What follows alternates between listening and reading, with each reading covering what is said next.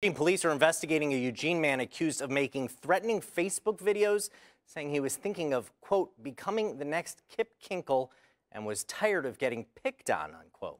This is according to a federal affidavit. EPD arrested 31-year-old Jeffrey Alan Voss last week.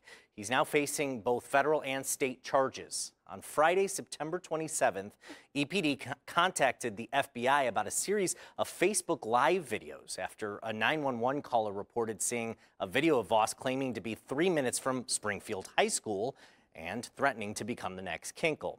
Kip Kinkel, of course, was the 15-year-old who committed the 1998 Thurston High School shooting. He killed his parents, two of his classmates, and wounded 25 others. Kinkel's now 42 years old. He is serving a nearly 112-year sentence for his actions that day. Meanwhile, Voss is facing a federal charge for transmitting threatening communications in interstate commerce. He's also charged in the Lane County Circuit Court with disorderly conduct. The FBI first investigated Voss in February of 2020 after he allegedly posted threats to kill himself and others on Facebook and Twitter. The FBI warned him that if the threatening posts continued, he could face federal charges. Voss was arraigned Monday on the disorderly conduct charge in Lane County Circuit Court. He has not made an appearance yet on the charge in federal court.